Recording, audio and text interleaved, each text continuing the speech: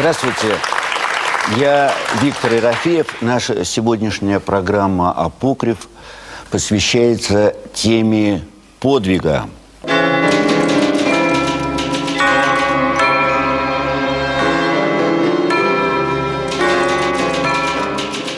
Героем советской литературы был подвиг. Собственно, главная тема, собственно, главная задача советской литературы – поднять, поставить на пьедестал тему самопожертвования. А что было до этого? А что было после этого? Где мы сейчас с этой темой? В литературе, в жизни. Вот об этом мы сегодня и поговорим. Наши гости. Ольга Будина, актриса. Для съемок в фильме Глеба Панфилова «Романовы. Венценосная семья», где играла царевну Анастасию, наша совсем тогда юная героиня остриглась наголо. А в фильме Алексея Учителя «Дневник его жены» с пронзительной достоверностью сыграла драму юной подруги великого писателя. С учетом смягченных обстоятельств мирного времени, каждый из этих эпизодов, если и не подвиг, то по меньшей мере поступок и для женщины, и для актрисы. Егор Исаев, поэт-фронтовик, с подвигом знаком не понаслышке. Военкомат пришел добровольцем. Его брать не хотели, слишком был молод. Егор Александрович знает. Война говорит в окопах на «ты», там на «вы» не говорят. Там сегодня жив, завтра нет. Война и поэзия, по его мнению, два великих слова, насыщенных смыслом, насыщенных жизнью. Война – великая печаль, великий подвиг. Егор Александрович, вот у вас звезда. Мы вас любим и ценим как замечательного писателя, поэта. Мы с вас и начнем. Что такое подвиг? Вы знаете, хочется непосредственно обратиться к языку. Что такое подвиг и что такое поступок? Казалось бы, два понятия рядом – да, это понятие, так сказать, можно сказать, братья. Но с большим различием. Поступок может быть хорошим и плохим. Он может быть в тени и может быть, так сказать, на свету. А вот подвиг, он не может быть плохим.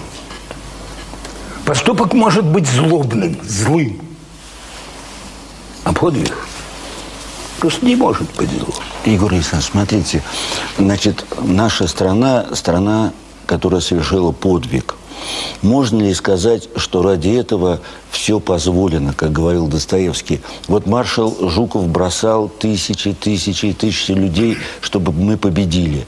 Есть ли грань, за которой мы скажем, нет, это было слишком много, надо было поменьше. Вот как вы сами, как писатель, решаете этот И вы вопрос? знаете, какая вещь? Некоторые такие, что мы, там сказать, мясом победили. Нет, мы победили и умом мужеством своим отдачей полной победили.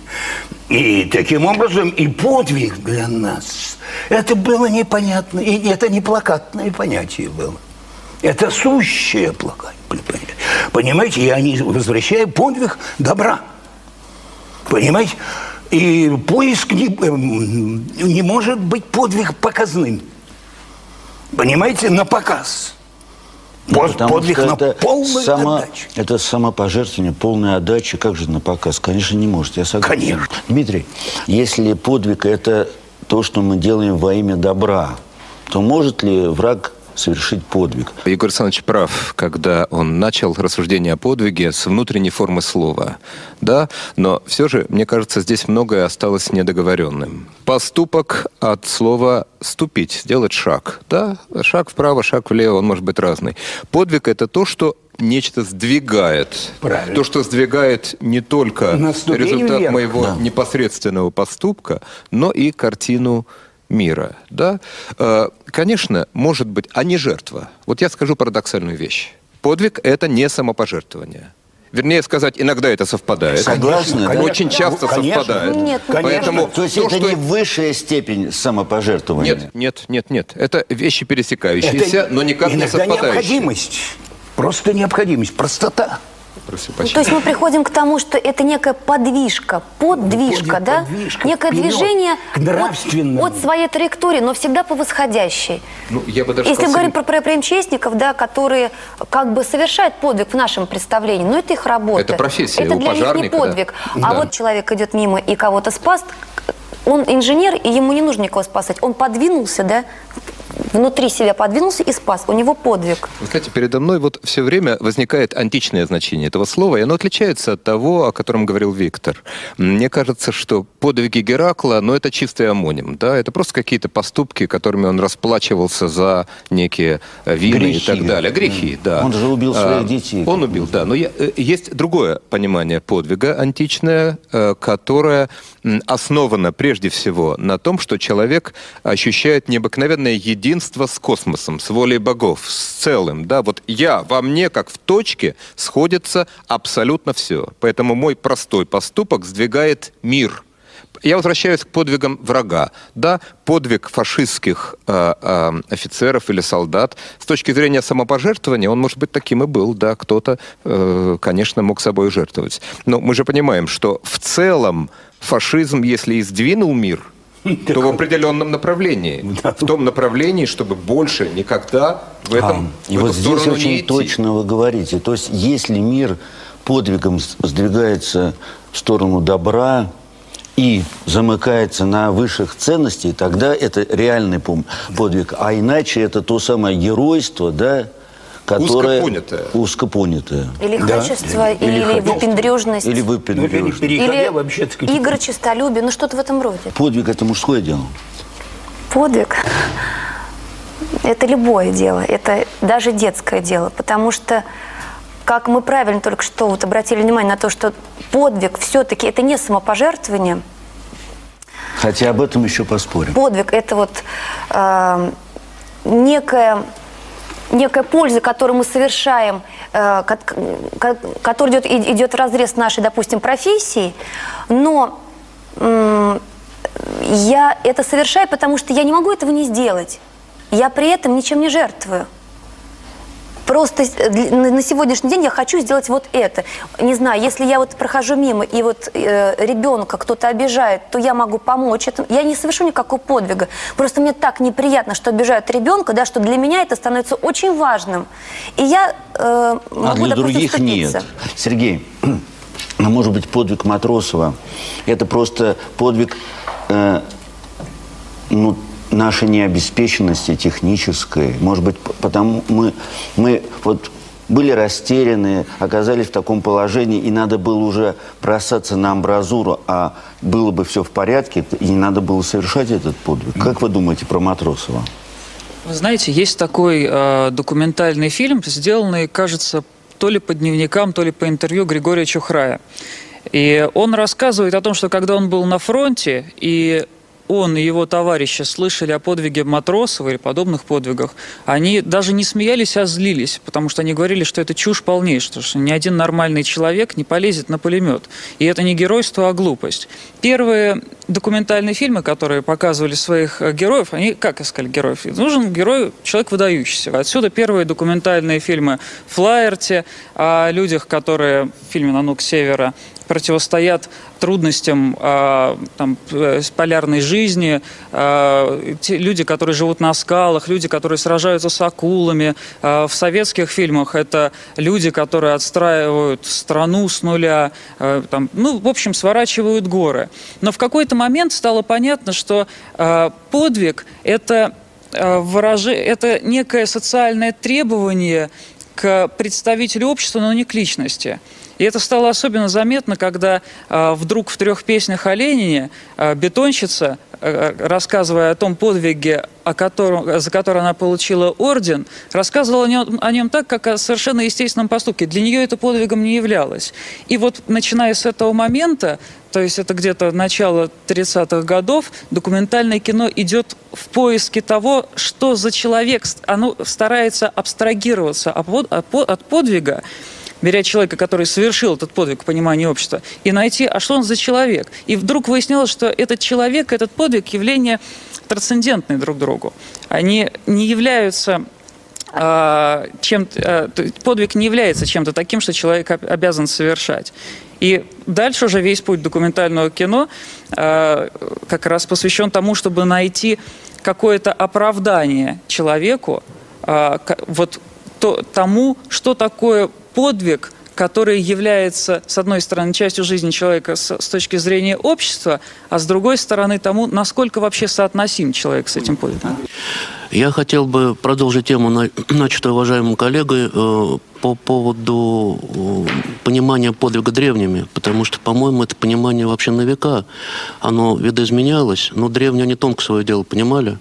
Вот понимаете, у меня какое ощущение, если брать в историческом разрезе, ну, Россию 19 века, общественное движение, общественную мысль, да и вообще можно абстрагироваться от этих реалий. Подвиг, по-моему, это некая точка, вот э, два пространства есть. Есть пространство человеческое, есть пространство обыденной реальности, к которому мы привыкли. И есть легенды, да? Есть пространство жесткое, диктующее нам свои правила поведения. И в нас всех, или в большинстве, по крайней мере, тут разные точки зрения могут быть, есть то, что называется искра, искрой Божией, или то, что Кант называл моральным законом. Есть ощущение того, что очень много неправды, несправедливости. Мы с этим сталкиваемся постоянно. Правила игры жесткие. Если ты играешь по правилам реальности – то ты, э, будучи порядочным человеком, ограничивайся ну, ворчанием э, в кругу семьи, в кругу близких друзей, тем, что называется такой критикой с житьем, с кукишем в кармане.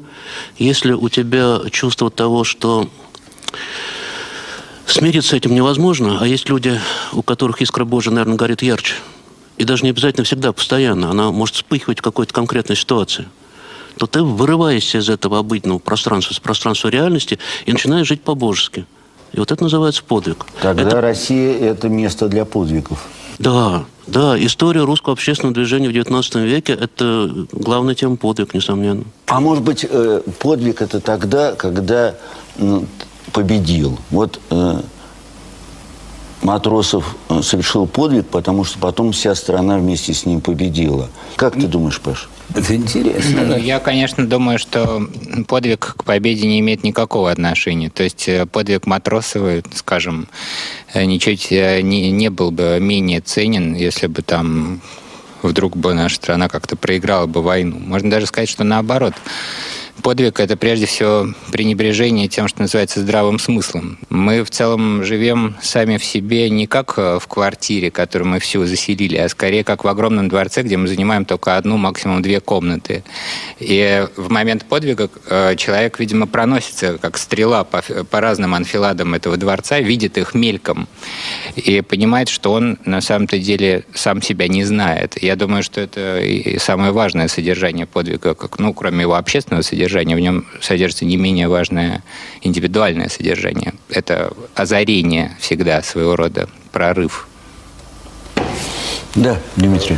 Я бы хотел не согласиться с Павлом. Вот в чем. Э, я уже говорил о том, что подвиг – это не личное преодоление себя, это не расширение сознания. Для этого акта есть название. Это подвиг Герострата. Да? Да. Это вот то, что не имеет отношения к победе. Повторяю еще раз. Исконное значение Но ну, слова не называли подвиг... же геростратовский поступок подвигом. Подвиг. Ну, никто не... же не называл. А, ну, вот, ну, мне кажется, Павел нет, говорил нет, именно нет, такого. Подвиг – это всегда не победа, а то, что сдвигает мироздание не то, это не личный акт совершенно. Это изначально исторически так. И второе, о чем я хотел сказать. Все-таки ну, нельзя забывать о том, что вообще вся наша сегодняшняя беседа спровоцирована тем изводом, тем вариантом истолкования слова «подвиг», которое возникло в Советском Союзе. Правильно. Иначе бы мы об этом Правильно. не говорили. В XIX веке я живу внутри языка э, русской литературы XIX века и обиходного языка. Я его знаю, я его чувствую, я этим всю жизнь занимаюсь. Там это слово совсем на другой полке. Да, его его меньше на, употребляют. На, какой? какой? Почти не употребляется. Ну, правильно Виктор говорил. Возьмите литературу 19 века. Где там этот самый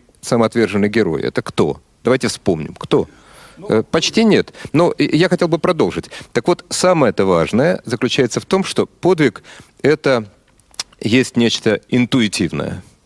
Вот то, что не может быть сделано по некоему образцу. Это вот та точка, где я чувствую, что во мне сходится все мироздание. Здесь и сейчас. Неважно, что передо мной, амбразура или еще какой-нибудь другой предмет. Что произошло в советское время? Это понятие было канонизировано. Ну и в известной фразе о том, что жизнь, в жизни всегда есть место подвигу. И в том, что в любой профессии мы получили образцовые фигуры, да, вот просто давайте по списку. Паша Ангелина, я против этих людей, боже упаси, ничего не имею. Алексей Стаханов, Гаганова, Ткачиха, лучший летчик Чкалов, лучший прозаик Горький, лучший поэт Маяковский, лучший биолог Мичурин, лучший военный э, Чапаев и так далее. Ну, за всем этим, я уже не буду говорить, что за всем этим скрывались э, не лучший летчик Блюхер в советских пониманиях этого смысла, да, не лучший поэт Гумилев, э, не лучший биолог Вавилов и так далее, и так далее. Вот, э, на мой взгляд, надо иметь в виду, что в 20 веке, вот в этой стране, той самой, которая как бы предназначена, как мы думаем иногда,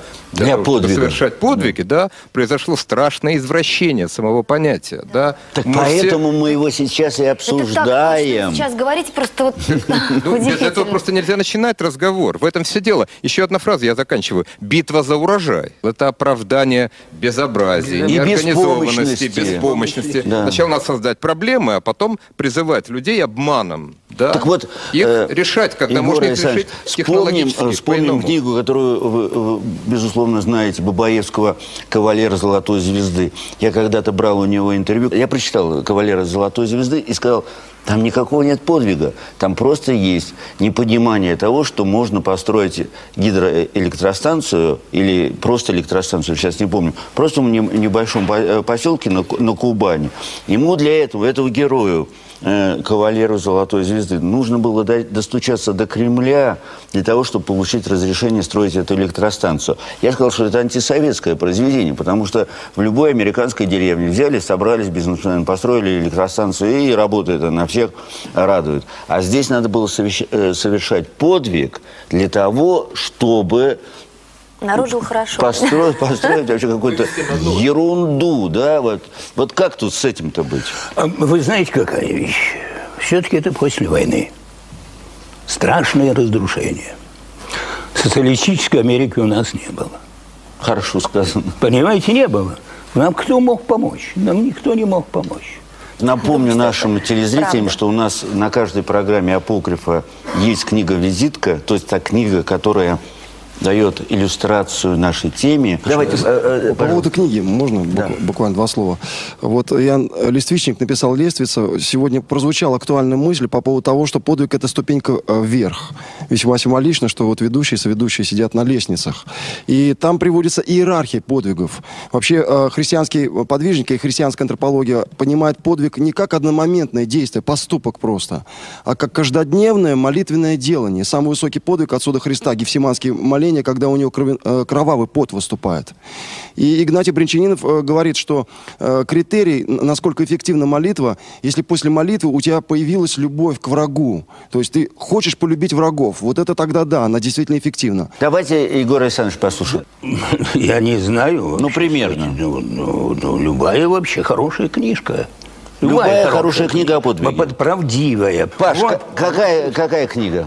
Ближе всего к сути этого явления, возможно, подошел Набоков со своим романом «Подвиг». То есть э, описан молодой человек, э, который родом из России, но оказывается в эмиграции после революции, и ему хочется совершить подвиг. Он абсолютно не знает, как бы, что для этого нужно сделать, потому что война уже гражданская закончена, он в ней не успел принять участие в какой-то момент он вписывается в то, чтобы перейти границу России и как бы со стороны белогвардейцев как, как бы войти в нее. Но при этом он вообще не подготовлен, то есть ясно, что он там ничего делать не будет и э, погибнет молниеносно. Видимо, так и происходит, он переходит границу и просто исчезает.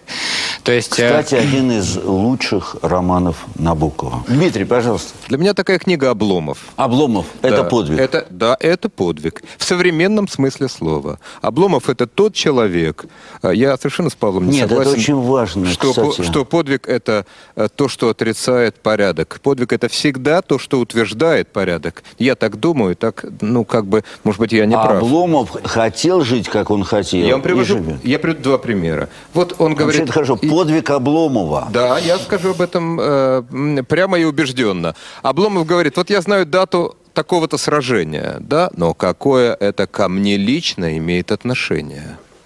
Снимая все прагматические мотивировки. И второй пример. Обломов э, э, получает письмо из деревни от старости. Крестьяне сбежали, да, говорит он, читает он. И думает, почему я такой? Почему я не распоряжусь, чтобы их поймали? Да? А следом у него возникает мысль, как это они сбежали? Небось, в степи ночуют, не в избе. Вот вам... И жалко. Да современный подвиг, как сегодня много говорили, он это имеет пожалеть. две стороны. Это Одна пожалеть. изнаночная сторона, ложная, это медиа-сторона. Да, странно об этом говорить на телевидении, но тем не менее. Подвиг совершает герой, то есть человек известный. А сейчас часто этот силлогизм подменяется. Да? Известный человек, значит, он совершил подвиг. Мы Значит, сплошь и рядом герой, видим, да. когда, э, ну, так называемые звезды, да, они просто поддерживают свой имидж известности какими-то фиктивными поступками. Кто за рулем пьяным окажется, не будем называть имен, и так далее. И, наконец, есть истинная сторона подвига, это благотворительность. Увидеть то, мимо чего обычные люди э, э, проходят. Увидеть другого человека. Увидеть в событии смысл, который касается лично тебя и всего мира сразу. Иначе зачем я учу дату битвы при Калке или э, учу, в каком году умер Пушкин? Это самое трудное. Обломов – это человек, совершивший подвиг. Я очень люблю детские книги, вообще детских писателей. Я очень люблю Гайдара, старшего, дедушку. Говорят, что гении забирают на много поколений вперед, все. Вот, э, и он сам был поразительный человек, большой доброты. Ведь он с 16-летним мальчишкой расстреливал, убивал. Ему по талантливости его нужно было быть добрым сказочником. А он написал судьбу барабанщика одну из самых жестких да, книг и, в нашей литературе. Егор Александрович говорит, не очень добрый был человек. Не очень, особенно в начале. Спасибо, не, пожалуйста. Моя книга, да. это тоже на сегодняшней программе Аркадий Гайдар, но Тимур и его команда. И прежде всего потому, что мне близка тема волонтерства, близка тема нахождения ну, умение сделать добро не так, как принято внутри этой системы сегодня. Вот так. Понятно, пожалуйста. Мне кажется, что очень важно то, что в современном э, искусстве происходит, ну, а прежде всего в кинематографе, раз я сюда пришел от кинематографа, получается, э, появляется нечто, какое-то новое представление о подвиге, которое разрушает привычную мифологию подвига, которая сейчас существует, о которой в основном сегодня говорили. И это представление о подвиге очень совпадает вот с тем представлением о человеке последних времен, которое есть в христианской эсхатологии. То есть э, в там говорится о том, что в последние времена спасутся те люди, которые будут не святыми, а не будут совершать какой-то какой мелкий, ну, с нашей точки зрения, грех, я уже не помню, какой точно. И вот в современном искусстве э, очень часто оказывается э, обращено внимание на то, что подвиг – это когда человек, опутанный э, сетями, даже паутиной массовой культуры, хотя бы в чем-то не похож на других, хотя бы в чем-то способен что-то почувствовать, как-то действовать не так, как другие. И мне кажется, что вот я бы порекомендовал не книгу, а фильм, потому что кино. Э, это фильм Армана Ирисана «Под открытым небом» о двух бомжах, у которых при, то, при, те, при том состоянии, в котором они существуют, есть способность любить. Спасибо. Оль, теперь ваша книга. Знаете, наверное, я не буду оригинальной. Я назову романы Сергея Алексеева и самого Сергея Алексеева. Его, э, как это, бестселлеры, да, э, «Сокровища Валькирии». Или, допустим, второй вот человек, которому, который я считаю, что тоже совершил подвиг, это Владимир Мегре. Его книги очень очень э, нас поднимают в нравственном отношении. Спасибо.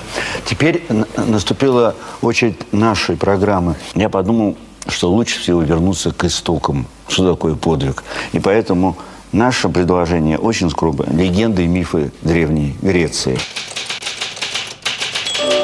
На горе Мосхе, на Лемносе, из горна своего друга Гефеста похитил Прометей огонь для людей – он научил людей искусству, дал им знания, научил их счету, чтению и письму. Он познакомил их с металлами. Прометей смирил для смертных дикого быка и надел на него ермо. Прометей впряг коня в колесницу и сделал его послушным человеку. Мудрый Титан построил первый корабль, оснастил его и распустил на нем льняной парус. Раньше люди не знали лекарств, не умели лечить болезни, но Прометей открыл им силу, и они смирили болезни. Он научил их всему тому, что облегчает горести жизни и делает ее счастливее и радостнее. Этими подвигами прогневал он Зевса, и за это и покарал его громовержец. Николай Альбертович Кун. Легенды и мифы Древней Греции. Знаете, возвращаясь к, вот, к тому, что в 19 веке, да, не было понятия подвиг, а я сейчас помню про капитанскую дочку. Но Маша пошла, да, вот к Екатерине просить, да, но по-моему, Пушкин там не пишет о том, что она подвиг совершила. Она была в этих обстоятельствах и не могла поступить иначе. Понятие духовного подвига, А, да, подвижничество. Тут другая вещь, Ну, это, это было подвижник. под, да. А подвиг Подвижник, ну, хотя, а не по-моему, герой. времени да, вот Маши это- даже это и очень- подвижничества нет. Давайте послушаем Олега. Я, мое детство прошло в школе, носящей там, дружина была, носила имя Зои Космодемьянской, отряд, в котором я был, э, носил имя Александра Матросова, то есть тема мне близка. Мне кажется, что э, подвиг мало совершить, нужно еще людям его принять как подвиг. А, мне кажется, что понятие... Зафиксировать, Да. правильно? А сам подвиг, на мой взгляд, действительно, это всегда вверх, всегда движение к добру. Но а, подвиг должен пройти время какой-то оценки. Два любимых моих героя, но, но, но они разные. Это Че Гевара и Мартин Лютер Кинг. А, Оба революционера по-своему, оба хотели добра, и, оба, и, и у каждого из них есть своя аура. Но все-таки один выбрал насилие, а второй не насилие, подчеркнуто. И вот а, какой из этих путей к добру, а какой нет, вот конкретно эти два героя еще идут по, свою, по своему пути какой-то оценки и воспринятия их жизни как подвига или как нет. Но а, мне кажется, а, мы сейчас в сложном времени находимся. У нас, в нас пока еще спорит подвиг разведчика и подвиг диссидента. Я надеюсь, что будет время, когда и подвиг разведчика, и подвиг диссидента, они как-то рядышком будут находиться и по-своему будут оценены с положительной стороны. Я хочу сказать, что вот вы про женский подвиг, Да. а нам мать Тереза, почему? Тоже вот это другой подвиг. Другой подвиг. И сейчас очень много места вот матерям А Тере- интересно, а вот Пушкин, зная, и уже знали тогда, что он гениален, а гений и талант несет один человек, а гений, а гений принадлежит всем. Вот отличие личности и индивидуальности, понимаете? И индивидуальность – это насколько один человек не похож на другого. А вот личность, насколько один человек необходим другим. Так вот, Пушкин был необходим всем. И Пушкин, зная это, оскорбленный, понимаешь, под лицом Дантесом, идет либо останется жив, либо-либо, либо будет убит. И он все-таки идет на это. Это что? Подвиг? Вы знаете, на этот счет же есть очень авторитетное мнение Владимира Соловьева. Да, и при всем том, что, конечно, Соловьев боготворит Пушкина, боготворит Пушкина, он э, очень ясно дает определение этому поступку. Это поступок недостоин масштаба личности, да, это переход все-таки, это никак не подвиг, а наоборот. Я говорю сейчас о позиции Соловьева. А Это вот смотрите, какие на- разные мнения. Осторожность, до потери в себя достоинства. Это растворение это в тоже, быте. вы знаете, не очень вообще Вот, сказать, вот смотрите, э, сколько людей, столько и мнений здесь, правда? Э, ну, подвиг э, э, убить Дантеса, не знаю, я так тоже не думаю. Но, с другой стороны, э, если бы не пошел на дуэль, тоже было неправильно. Вот, вот Не- тоже, ну вот. конечно. Ну а потом, если возникла такая ситуация, когда его нужно было кому-то убрать, ну придумали бы другую ситуацию, если бы он не пошел на эту дуэль. Это уже булгаковская позиция, да. Я не знаю, мне так кажется. Пожалуйста.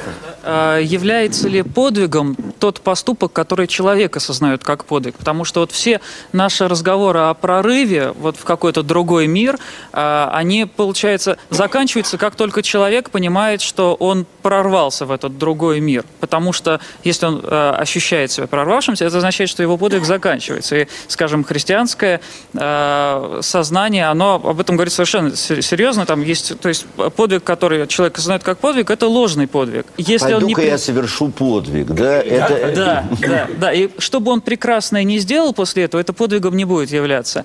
Но если он не осознает это как подвиг, а совершает это как поступок, потому что он больше ничего иного не мог совершить в предлагаемых ситуациях, он не видит никакой другой альтернативы для себя, то в таком случае подвиг это все равно мы приходим к тому, что подвиг это нечто навязываемого, навязанное обществом, но что в сознании самого личности, в самой личности не существует. И тогда мы Паш, отходим от героизации. Это, это интересное развитие темы. Ну, не знаю, конечно, вообще подвиг, он может быть обнаружен в любой точке, на самом деле. Как посмотреть, все зависит. Потому что, например, ну, конечно, строго говоря, Пушкин никакого подвига не совершил. Он просто повиновался кодексу чести дворянина и действовал в рамках э, той системы, в которой... То есть действовал так, как он и должен был действовать по тому положению, которое он в обществе занимал. Гораздо более смелым в таких ситуациях, например, поведением отличался Чаадаев, который, когда его вызывали на дуэль, он владел хорошо английским боксом, он просто изо всех сил давал по роже и разбивал нос, как бы, что очень странно действовало на тогдашнее общество, потому что это полностью выпадало из кодекса поведения дворянина. Вот это, конечно, в общем-то, больше похоже на подвиг, потому что он ломал э, представление о том, как должен себя вести человек в таких ситуациях, и не принимал вызов. И Тогда на- можно сказать, что любой гений – это человек, который совершает подвиг, потому что он ломает представление о культуре. Ну, не любой. Есть Думаю, гении-конформисты, и они тоже такие же точно гении, как э, гении-революционеры. Да, У Оля. меня предложение. Давайте мы обсудим ситуацию. Вот есть просто одна ситуация современная. Началось это с того, что одна моя знакомая, с которой познакомилась ну, совсем недавно, она ко мне обратилась. а, Она, э, в- рожая ребенка, находясь в палате, постоянно слышала за стеной крик детский, детский плач. Это было днем, ночью не прекращающийся плач, бесконечный плач. Она стала спрашивать, интересоваться, что это может быть, и так далее, и так далее. Очень долго она добивалась какого-то ответа. В конце концов, ей сказали, что э, это отказники. И туда нельзя заходить, к ним нельзя приходить, их, их нельзя трогать, потому что один раз возьмешь на руки и все. Они должны привыкнуть, что они отказники, что они изгои, что они совершили уже одну оплошность в своей жизни, они, они почему-то родились. Заодно это они вот уже под- буд- будут подвергаться вот такой нашей как бы каре, нашему неприятию и так далее. Так вот, эта девочка, сейчас ее дочери, по-моему, 4 или 5 лет, она стала развивать эту тему, она не остановилась на этом, она организовала Содружество волонтеров. И на сегодняшний день это довольно приличная организация. Они курируют все больницы Москвы и Московской области и даже нескольких регионов. И знаете, в чем их подвиг заключается? Не в том, что они обратили на это внимание, они обратили внимание просто потому, что они матери, и они не могли допустить. Чужих детей не бывает. Но их подвиг заключается в том, что они сейчас планомерно продумывают, как же им так ухитриться, чтобы, чтобы убедить наше государство в том, что так поступать нельзя. Потому что когда они приходили в Минздрав или в э, Министерство образования. Им там говорили, что это не так. убедить. Они, Да, э, как раньше у нас проституция не существовала, значит, сейчас у нас не, не существует отказников. А почему? И эти дети, я просто не, сказала, эти дети годами живут в больницах. Их, их не отдают в детские дома. Я сейчас говорю не о тех брошенных детских домах, а о том, что эти отказники живут в больницах просто потому, что не попечительски, а э, органы опеки, сговорившись с э, в- м, главными врачами больницы, эм, принимают решение, что в детских домах нет места. У нас сейчас, к счастью, детские дома обеспечены. Конечно, счастьем очень сложно назвать, но все-таки. Есть дотации, и там э, детей кормят даже фруктами, есть игрушки и прочее. В этих же больницах нет ничего. Вообще ничего. Начиная, допустим, с питания.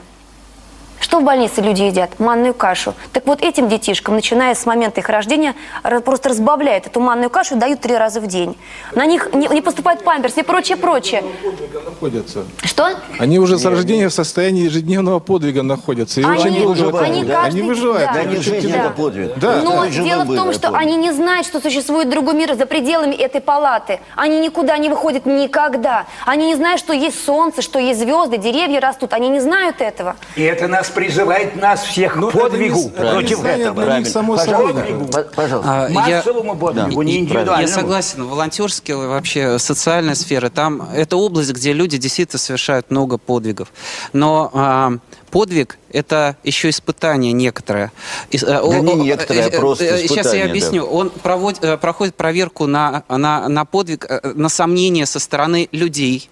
Они, например, есть люди, которые намеренно хотят занизить значение подвига какого-то человека. Сказать, ну он за деньги пошел, ради славы пошел. Я не знаю, не уверен, каким будут подвиги э, завтра, потому что у людей есть веб-камеры, у людей есть мобильные телефоны. И завтра человек, который идет э, спасать э, погибающих от наводнения, ну, может быть, так вот просто на всякий случай для своего онлайн-дневника возьмет веб-камеру, и вот зачем он это делает? Ну, например, или сделает. И, он, и, и все будут смотреть, э, миллион э, пользователей интернета, вот он, он спасает, он, и он реально спасает, но еще у него вот веб-камера. Проблема подвига в том, что им потом кормятся. Кормятся системы, кормятся партии, кормятся государства, они его переваривают, Голливуд из него делает конфетку и так далее. У подвига непростая судьба и в момент его совершения, и впоследствии. Для меня, допустим, подвиг – это когда человек, который может совершить низкий поступок, о котором никто не узнает, и ему очень хочется это вот. сделать, там по разным причинам, но он, это, он находит в себе силы, и он этого не делает, Конечно, это подвиг. Но мне кажется, это все-таки не подвиг, а просто порядочное поведение. Вот, скажем, 19 век. Земские учителя, земские врачи. Когда читаешь о них, то видно, что это ежедневный подвиг. Потому что люди работают почти за даром, ну, жалование ничтожное. Вкалывают по-черному, условий практически никаких. У нас, к сожалению, действительно вот в литературе очень мало почему-то об этом написано в литературе 19 века. Ну, у Чехова есть. Уходит. Есть у Чехова, у Чехова есть. Булгакова есть. Да. Но вообще... Э, Но Булгаков тоже 20 в основном, в основном у нас проблемы связаны флигель-дютант, несчастный брак, старушка топором убил и так далее. Проблемы, как бы сказать, проклятые вопросы, проблемы высокой морали и так далее. А вот этот вот подвиг ежедневный, который нашу историю насыщает, он, я вот затрудняюсь. Я к тому, что здесь, может быть, правда, подвиг превратился в какую-то обыденность настоящую. Это, ну как бы сказать, это, это не раз... дело. Это, это не дело. Паша, это а вот современные художники, у них есть э, право на подвиг и есть место подвигу?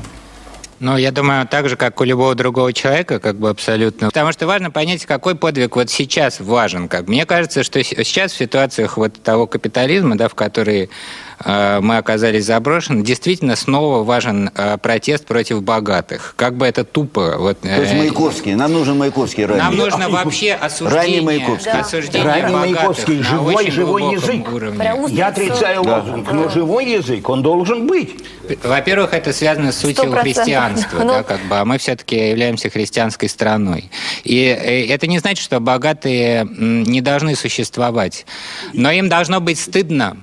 Стыдно Ой, причем не за, нас э, не за плохие поступки Ой. даже, а просто за то, что они богатые, просто за сам этот факт. Это в нормальной христианской Это стране. мы уже проходили. Значит, мы сейчас подарим гостям фотографии Жени Дюрер. А у вас просто Я подумал, что, наверное, главный подвиг, который мы можем совершить, это все-таки духовный подвиг. Тот, который связан с, с вертикалью нашей душевной и духовной жизни. Он может быть маленький, он может быть большой, но мы, как люди, видимо, должны совершать эти духовные подвиги, иначе просто нас не станет. Спасибо, до новых встреч.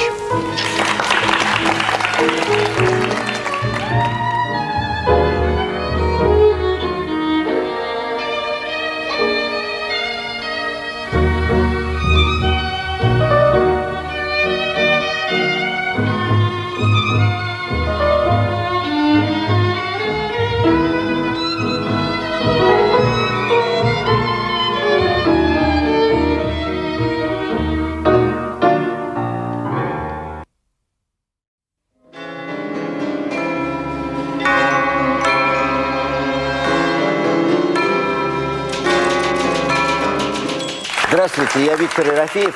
Наша сегодняшняя программа «Апокриф» посвящена теме роковой женщины «Фам Фаталь». Мы сегодня попробуем разобраться, кто она такая, не фантом ли, а если нет, то в реальности это что? Жгучая брюнетка, это Клеопатра, это женщина-паук или просто совершенно случайный человек, который пришел и разрушил нашу мужскую жизнь.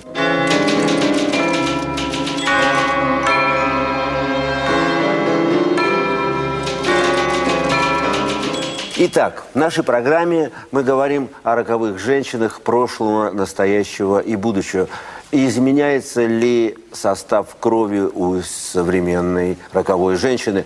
А в будущем кто эти женщины? А может, вообще мы, мужчины, и создали этот образ, а на самом деле их-то и никогда не было. Наши гости. Алла Сигалова, хореограф, балерина, хормейстер, педагог, актриса. Наша героиня не только считает, что многие ее спектакли о свойствах страсти, но и признается, меня это больше всего интересует, потому что сама я человек, обуреваемый сильными эмоциями, и я все время решаю вопросы жизни борьбы, принятия и отстранения. Среди ее постановок «Пиковая дама», «Мадам Бавари», «Кармен». Названия говорят сами за себя. Дмитрий Бак, филолог, литературный критик, переводчик, профессор РГГУ. Профессиональные и научные интересы нашего героя достаточно обширны, чтобы охватить тему нашей сегодняшней программы. Дмитрий Бак – признанный специалист по истории и теории русской литературы и литературно-художественной критики XIX века, то есть того времени, когда и страстям, и женщинам случалось быть роковыми чаще, чем это бывает сегодня. Дмитрий, ваше мнение. Есть ли роковые женщины на свете? Да, конечно, есть. Были, не знаю, будут ли, но они точно были и точно есть сейчас. Ну, например, открываю я замечательную книгу Констана, недавно изданную. Называется «Проза о любви».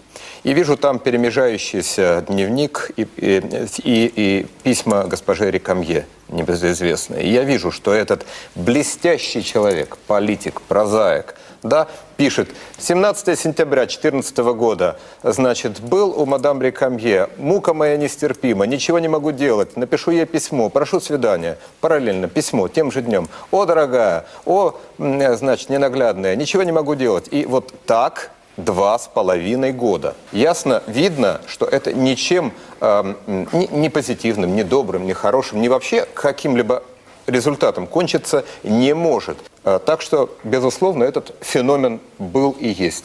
А что такое все-таки роковая женщина? Это та, которая нас разрушает, Дмитрий? Или та, которая нам дает стимул для творчества? Кого нас? Мужчин, вы имеете ну, в виду? Ну, допустим. Э, ну, не филологов же. Э, нет, ну ясно, что не филологов, но э, ведь э, роковые женщины разрушали не только нас, мужчин, а целые государства и царства, да?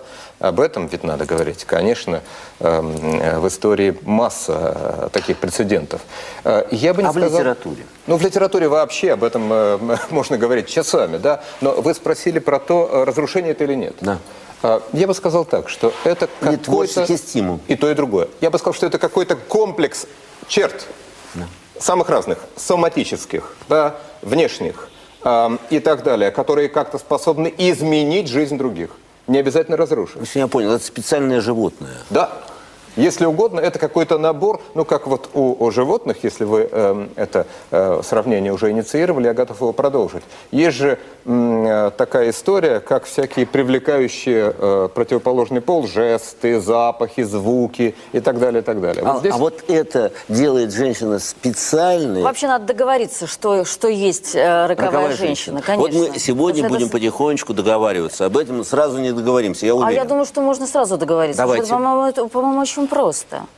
Так, это пугающе, ну давайте. Мне кажется, что это какая-то такая вообще э, природная какая-то э, субстанция, в которой э, есть определяющие вещи. Например? Например, э, чрезмерная энергетика.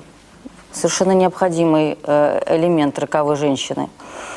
Э, чувство юмора, острота ума, воля – а, интуиция, достаточно сексуальность, недостаточно. А холодная она по страсти или горячая? Я думаю, что э, человек, женщина, которая э, может э, ломать судьбы, э, возвышать э, человека, э, рушить э, странные э, миры, создавать войны, это, э, это, это, это бешено, очень э, яростно, э, Огненная. Огненная. Огненная, Огненная. конечно, энергетика. Согласна? Огненная. Не, не всегда, не, всегда. Ну, Елена Троянская вовсе не огненная, не чрезмерно энергетичная. Да, однако же из-за нее произошло то, что произошло. Произошла многолетняя война, и вот Максим Амелин подскажет, что потом было.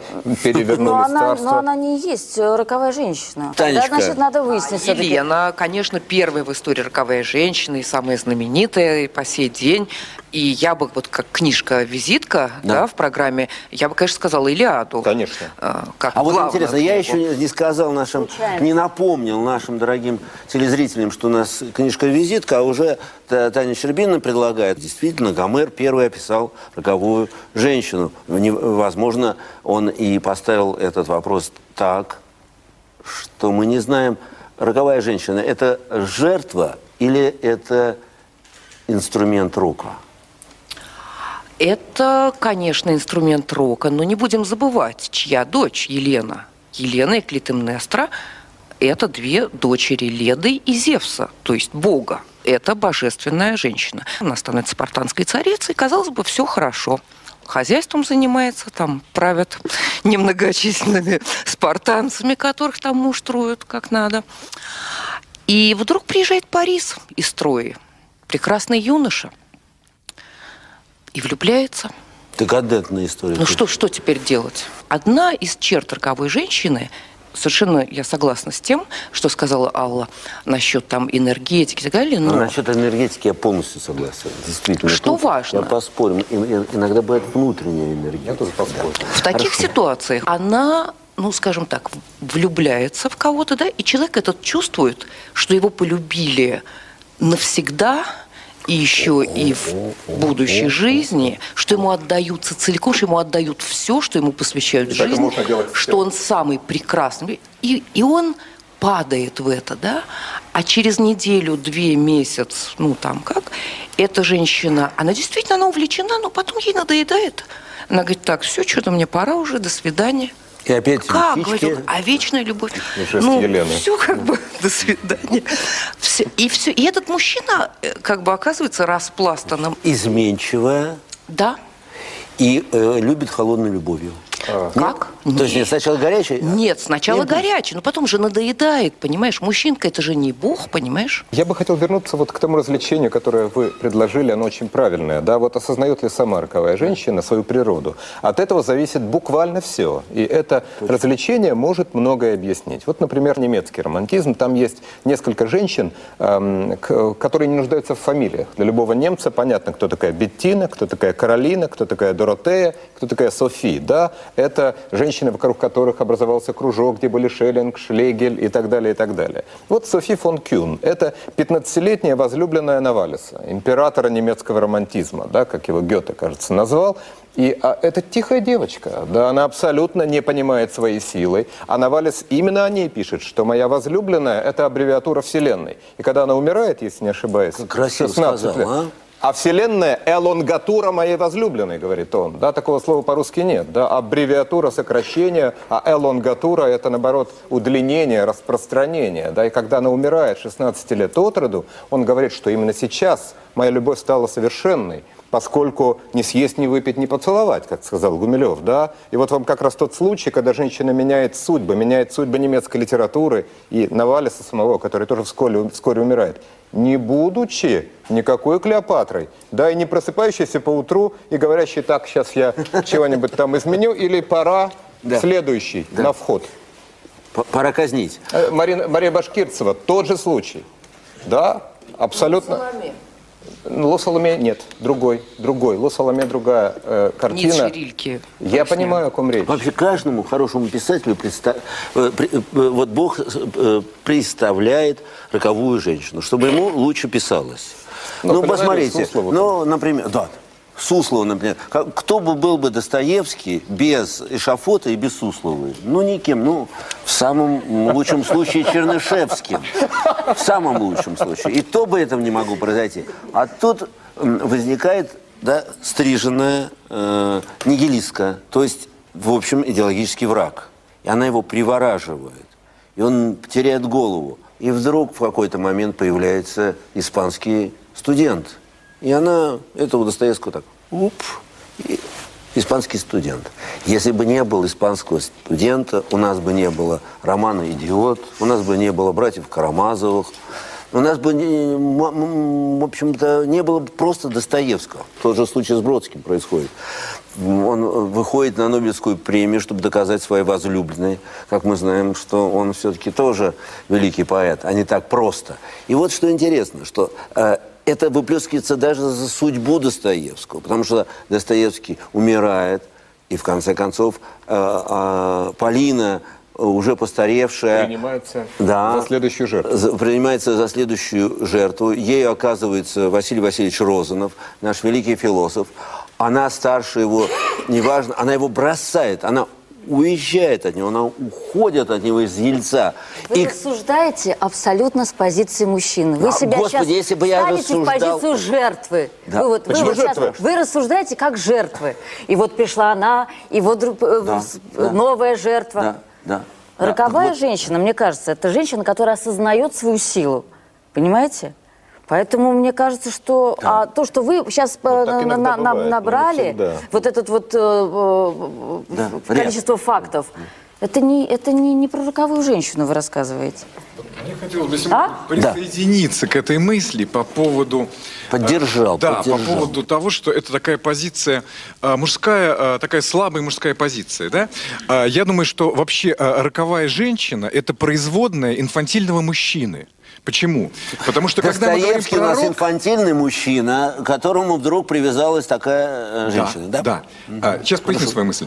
А, дело в том, Запишите, что рок, рок, да? Да. А, рок, фатум, когда я говорю про кого-то, что это судьба, это рок, это фатум, это значит, я с этим ничего не могу поделать. Это моя ответственность. И таким образом мужчина создает себе женщину, которую, которую он делает ответственной за свою судьбу.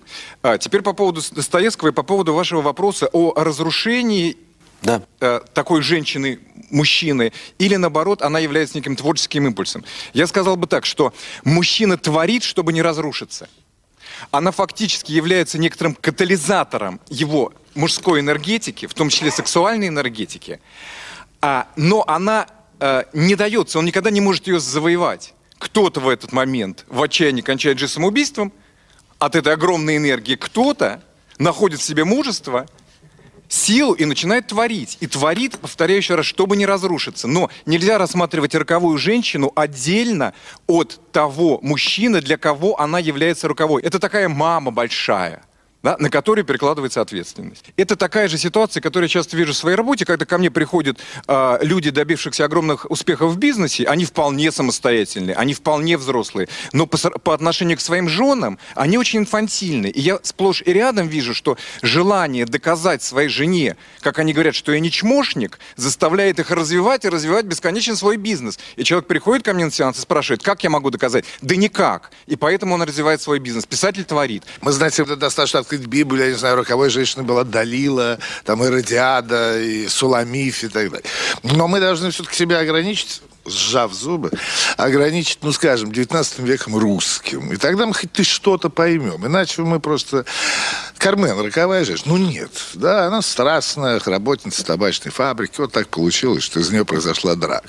Но, когда мы говорим об этом, о культурном... Кармен не роковая. Нет, нет. Ну, мы не это, наверное, имеем в виду. Мы имеем в виду некий культурный феномен, и тогда мы должны понять, что роковая женщина энергичная, предприимчивая, умная, как говорила Алла Сигалова, а, но светская женщина, которая действует в пределах света, как правило. И тогда она действительно, ее свойства оказывают судьбы и на мужчин. Окружена, она окружена поклонниками, зачастую она хозяйка салона.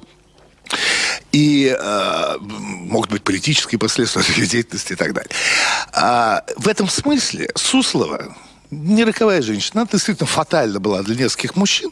А вот э, есть пример в русской литературе мне кажется, совершенно, женщина совершенно удовлетворяющая этим всем требованиям, которые я назвал. Это Элен Безухова, графиня у Толстого. Я еще могу представить, что Одинцова для Базарова была роковой женщиной. Ну, правильно. Он такой нигилист, нигилист. Бах попался. И, и стал инфантильным. Тут я, я хочу сказать, что роковая, позиция роковой женщины есть социальная роль. Если мы об этом говорим, а если мы говорим просто о женщинах, которые сводят с ума мужчин, тогда все женщины в каком смысле роковые. Так а почему не принять этот факт за, за, за реальность? Все женщины роковые. А что? Роковая женщина в идеале не должна служить. Ну, никто же не скажет, что, скажем, Плесецкая роковая женщина. Нет, там балерина гениальная. В этом смысле Сонька Золотая Ручка не роковая женщина, а воровка. Это ее профессия. А вот Элен, она не работает. А она... людоедка, она тоже роковая женщина? Элочка-людоедка в известном смысле. Ну, в известном смысле. У женщин в 19 веке вообще нет профессии, да? По крайней мере, в ту вот эпоху, у Сойки золотая, у Сойки золотой ручки была. про 19 век, да, и про Элен Безухову. Это 805 год, она там появляется. Какие там у женщин профессии? Вы согласны, что она роковая? Нет. Конечно же, безусловно. Вот видите, Ал, не так все просто. Э. Не так все просто. Ну, не так. Пожалуйста. Вот про, про Соньку «Золотая ручка». вот. Я думал про Гомера, переводчик, знаменитый. Э, хорошо, э, Нет, дело в том, что сам термин этот э, «фам фаталь» э, появился, собственно, из блатного жаргона, э, из французского блатного жаргона возник. Э, это такая Когда? женщина, где-то в веке в 18 17-18 век. Дело в том, что такая женщина э, э, появлялась в компании воров, э, входила с ними значит, в долю и стояла, скорее всего, там на э, стреме, да, и э, потом уходила с кассой, бросая мужиков э, ни с чем. Вот, собственно, вот это и был э, фам фаталь. Это же только метафора любой женщины. Да. Стояла на стреме, и потом раз, и с кошельком и ушла. Да, но потом термин переосмыслился э, и вот превратился в то, что мы имеем. Ну, наконец а, мы поняли. Э, дальше, дальше значит, я могу да. сказать, что, в общем-то, хотя термин появился, вот, понятно, в 18 веке, но такие роковые женщины вот были с, с античности личности. Причем Елена это скорее все-таки прекрасно, э, это все-таки прото, э, прото-роковая женщина. Потому, Или пара. Э, да.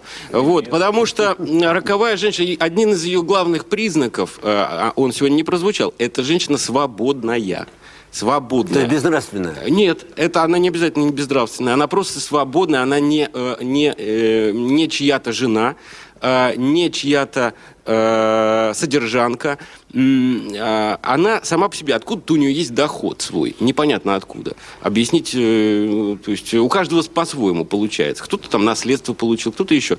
Э, вот э, как раз вот, например, э, в Греции это была Бедная Аспазия. Лиза не могла бы быть роковой женщиной? Нет, вряд ли. А что, если Либрик, куда ее засунуть? А? Если Либрик, куда засунуть?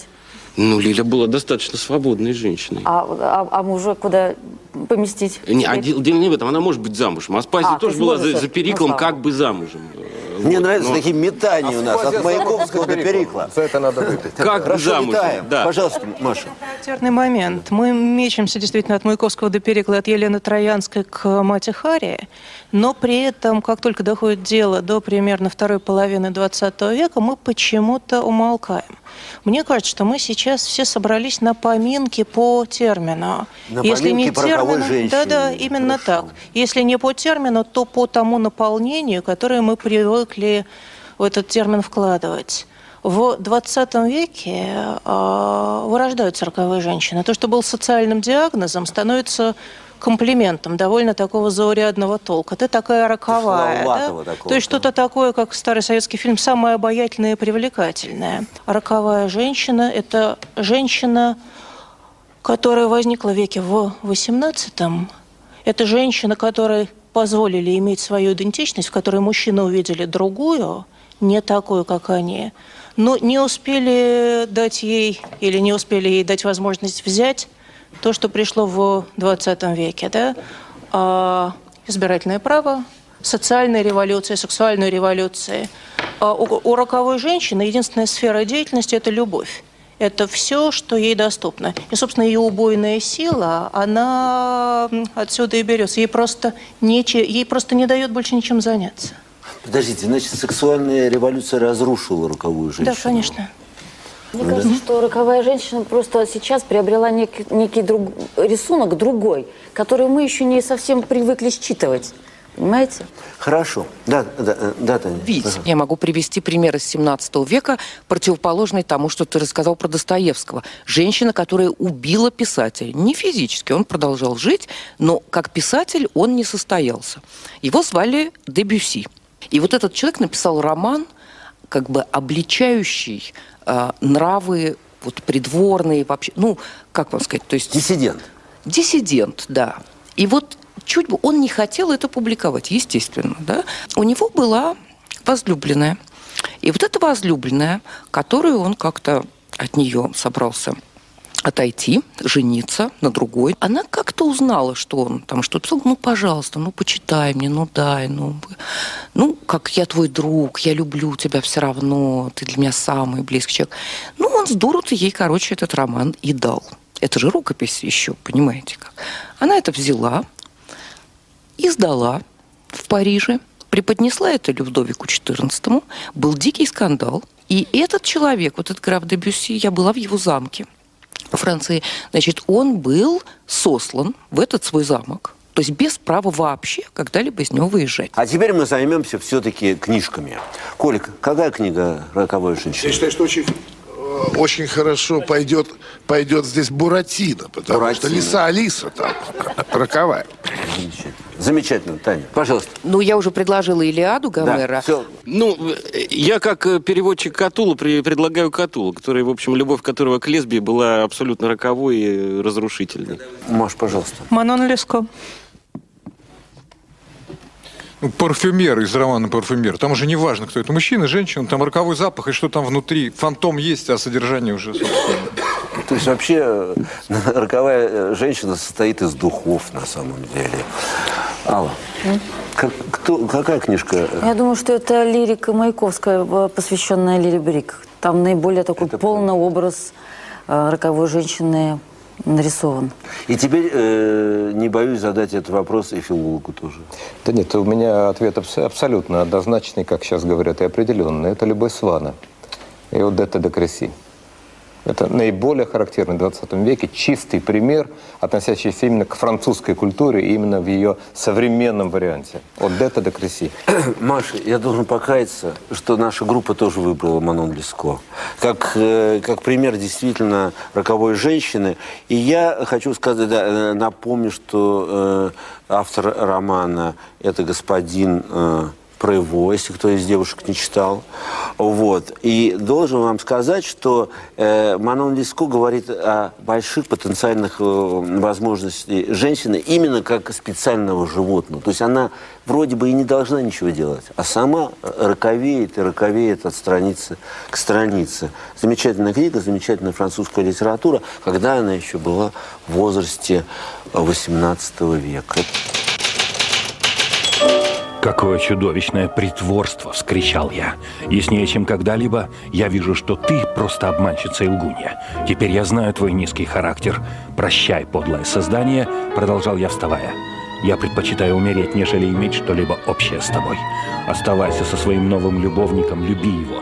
Презирай меня, забудь о чести, о благородстве. Я смеюсь над вами, мне все равно». Я сделал несколько шагов по направлению к двери, но надо было потерять последнее человеческое чувство, чтобы устоять против ее очарования. Я умолял ее, как о милости, сказать, что она прощает меня. Она уронила руки мне на плечи, говоря, что сама нуждается в моей доброте, чтобы загладить те огорчения, которые мне причинила. Она грешит сама того не ведая, говорил я себе. Она легкомысленна и безрассудна, но прямодушна и искренна. Антуан Франсуа Приво.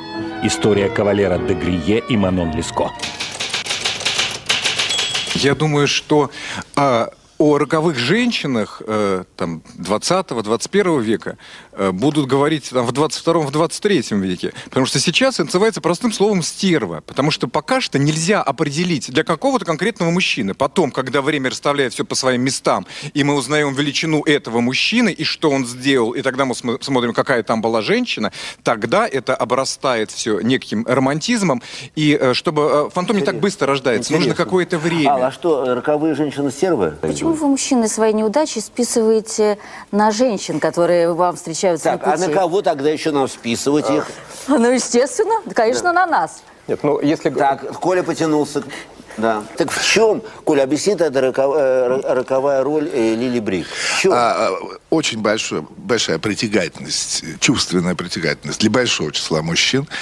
А, безусловно, использования этих мужчин. И вместе с тем она посылает мощные творческие импульсы. Интересно, что когда она уже была э, очень в, в пожилых годах, э, к ней ездили очень много людей. Это к ней ходил молодой Вознесенский, к ней ходил Параджанов, дарил ей прекрасные камни и так далее. А она оставалась вот, это, вот эту роль свою, соци... культурную роль, да, возжигания, так сказать, огня, пусть уже не сексуального, тем не менее, у нее оставалось. Говорить про это такую женщину, что она стерва, как-то не бессмысленно. Ну ладно, хорошо. Вот. Так, у нас девушка хотела сказать. Уже, в общем-то, многими психологами доказано, что женщина стервенеет от собственной несчастности. Вы могли бы поговорить о том, счастлива ли роковая женщина? Вот это женский взгляд на стервозность.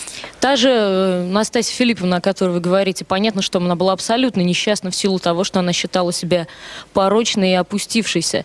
Э, женщина, которая вдохновила Иосифа Бродского на его лучшую любовную лирику, которую он обозначил под инициалами МБ. Э, счастлива ли она, каждый день вставая с утра, отправляясь в магазин за покупками, делая какие-то свои дела, и зная при этом, что весь мир считает ее всего лишь вдохновительницей Иосифа Бродского Ничего на его прекрасные лишь. стихи. Неплохая, кстати говоря, роль. Я думаю, что ее бы эта роль не устроила, скорее всего. Женщина, о которой мы говорили, о которой говорила Татьяна Щербина, которая любовница Дебюсси, явно сделала то, что она сделала исключительно потому, что ее собирались бросить. Вот о чем я говорю. Роковая женщина не может себя позиционировать как несчастная, понимаете? Позиционировать нет. Но когда мы говорим о стервозности, а почему-то получается так, что стервозность неотъемлемая. Вы, вы слышали, что Максим сказал? Роковую, Роковую женщину не бросают. Она бросает. Она бросает. Роковая женщина никогда не позволит обществу решить, что ее бросили. Э, и поэтому роковая женщина иногда должна заставить себя никогда больше не появиться в жизни того мужчины, которого она создала как автора. Если вы так считаете, э, э, так, э, так, такой образ у вас в голове роковой женщины, то тогда действительно таких женщин полно на свете. Полно роковых. Полно. Пожалуйста, Маша. Анна Каренина и Настасья Филипповна, а готовы ли вы кого-нибудь из них назвать роковой? Ну, скорее всего, Настасья Филипповна, конечно. Угу. А, понимаете, все-таки я считаю, что... Я думаю, для мужа Анны Каренина, товарища Каренина, она была вполне роковой женщиной. Да, для... пожалуй, что да, но, но да. только для одного, понимаете, роковая женщина это все-таки э, некая последовательность. Вот не дай бог э, встретиться э, на своем пути с роковой женщиной. Э, дело в том, что я, э, я про себя не буду рассказывать, а вот про своего приятеля близкого довольно расскажу. Вот я и заложу. А, понимаете, он, э, он вляпался в роковую на самом деле он про себя рассказывает Нет. под именем приятеля. А, ну, давайте она его, она его да. так да. измочалила, измучила. Она герой, над ним да? страшно э, э, издевалась, приближая, отдаляя и так далее, и так далее, играя так кошки-мышки.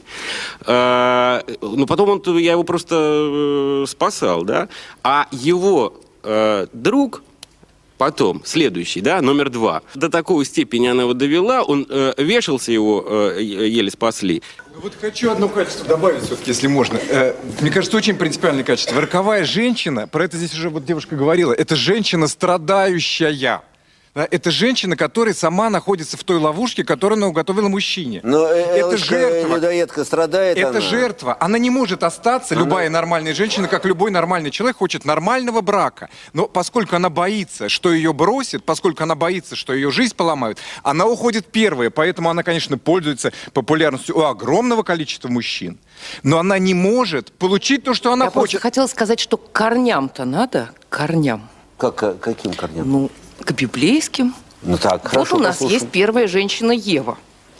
Да. И у нас есть еще, так сказать, миф о Лилит. В Библии нет. Ну, в Библии нет, но миф есть. Правильно? А другой женщина... И она как раз роковая. Женщина-демон, да. да? Лилит, или астрологи, между прочим, у них есть такое понятие «черная луна». У кого есть в гороскопе, это Лилит, иначе говоря. Но это такой вот знак именно рока какого-то. А, так Лилит это именно роковая женщина. То есть эта женщина не мать, женщина не жена, это демон, это соблазнительница. Это та, просто вот за которую можно жизнь отдать, пойти босиком по снегу на край света и так далее, да? Вот если она делает это сознательно, то она не только, э, она не только стерва, она ну, просто человека ненавистничает. Ты знаешь, это не делается сознательно. Нет. Нет. А, Технологии ну, у него вот говорят, муж и жена одна сатана. Это срастание, это становится как бы, ну, как один человек, да, вот двое. Здесь это, она никогда, это Лилит, не эта роковая женщина, не срастется. Она всегда отдельное существо. Скажите, Алла, а вы сами-то были роковой? Для кого-нибудь? Ох, не знаю. Пыталась То есть я даже однажды, не оглянулись? Даже Пыталась не... я однажды как-то вот развернуть человека в другую сторону. Не знаю, как получилось. Нет, Нет дело не в этом. Мы все время рассуждаем э, про роковую женщину да. в связи с э, проживаемыми эмоциями. Да. А это эмоции, э, которые, которые она м, возбуждает э, в партнере, они должны быть не просто проживаемые, они должны быть на что-то направлены, понимаете? Вот поэтому поэтому э, вот в этом и есть э, э, это название раковизм. раковизм, да. Раковизм.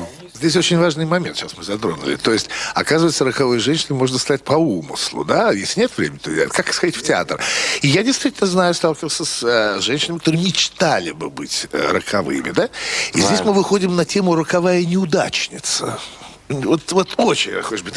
Ну, никак не получается. Эти женщины, как правило, говорят, ну, мужчины совершенно перевелись, потому что мужчины да. не читают, не, не понимают, что она роковая. Она-то знает это. Да, а это вот, правда. И не получается. Это, это существенно. Таня, а ты была роковой женщиной? Я была. И что? Чем кончилось-то? Вот все, вы уже... Все, ты писала об этом стихи? Ну что ты пристал? Да ладно, ну хорошо. Ладно. Несмотря на то, что в личной жизни у каждого что-то такое есть, но социальная роль роковой женщине роковой женщине отмерла, она ушла. И главным образом потому, что нет запретов, потому что нету несвободы, на фоне которой она могла бы себя как таковую Ну это мы говорим, что раз сексуальная революция, то... Дело не в только сексуальной нет, революции. Хорошо. Дело в э, стилистической революции в стихах и прозе. Да? Там нет ничего такого, что можно было бы счесть смелым, бросающим вызов, э, фатальным и так далее. Ну хорошо, ну перелистнули книгу, где обсценная лексика, перелистнули страницу, где еще описание каких-то немыслимых вещей. И что? Больше такой социальной роли нет, и она, роль, умерла навсегда. Если... Коля, ты писал, э, в твоей литературе есть роковые женщины? Конечно, конечно, конечно. Вот, не читайте философию. Ну, я могу сказать вот, о, о, о сегодняшнем кризисе этого да. института, вот, о котором говорит Маша. Если бы Лилия Брик хоть раз в жизни пошла на службу, она бы не была. Сегодня не было бы выставок про нее. Она никогда не служила. И это очень важно. Только Современные фото, женщины, только увы, для увы, Родченко. но это уже другая роль. А, бесплатно причем. А... Все знает. Вот Русский писатель, он должен знать все. Вот. А э, нынешние женщины э, слишком озабочены просто тем, что они себя содержат, а ну, заодно иногда мужчин, детей. Там. Я думаю, что... Э... Вообще меня очень огорчает, что э, роковые женщины сходят со сцены. О, о ком же тогда писать-то вообще? Я думаю, что такая роковая женщина может возникнуть в ближайшем будущем, потому что э, вот когда э, второе поколение образуются вдовушки, богатые вдовушки наших э, миллиардеров... То есть все-таки э, я думаю, вот что... марксист неунывающий, потому что, значит, все-таки социально главное, чтобы деньги были, и тогда сразу роковые женщины. Она должна быть свободная и не, не, у кого не просить денег. Ну, кто последняя роковая женщина в русской литературе? А, знаете, как ни странно, недавно «Новый мир» а, опубликовал а, повесть а, Всеволода Николаевича Петрова «Турдейская Манон Лескова». Такой прекрасный, полузабытый человек а, круга позднего Кузьмина. Вот а, его героиня – роковая женщина – из последних, из настоящих. А вот я хотела задать самый провокационный вопрос. Вот Катерина Измайлова, она жертва, а, ну, она роковая женщина. Значит, жертва тоже бывает роковой женщиной. Ну, как же она грибками там всех потравила-то? Но ну, она же роковая женщина для тех, которые в могилке-то сошли. Нет. Тогда объясните. Катерина Измайлова не является роковой женщиной, как не является роковой женщиной кошка, которая съела мышь да, почему-то, вдруг. И она непонятно почему полюбила этого, убила этого, убила потом этого и утащила в речку свою соперницу на последней странице. Это абсолютно биологическая... Сонетку. Э, сонетку, сонетку, да. Мне кажется, что вся штука с э, роковой женщиной в ее умении сочетать несочетаемые вещи.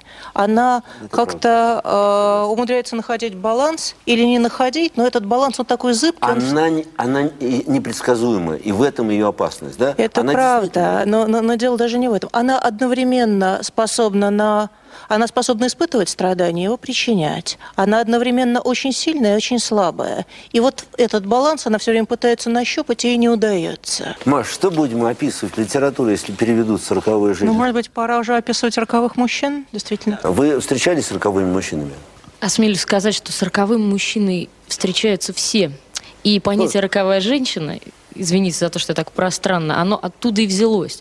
Что буквально каждой женщине какой-нибудь мужчина – все поломал, все испортил, обязательно разбил сердце. Ее жизненный путь вообще отклонился совершенно в другую сторону из-за каждого мужчины. Но не каждому мужчине женщина разбила сердце. Поэтому образ роковой женщины существует, а образ рокового мужчины нет. Потому сейчас... что каждый мужчина роковой. Да, и сейчас вы э, жалуетесь Понятно. на то, что ни в литературе, ни в жизни у нас, кажется, у нас поперевелись роковые да. женщины.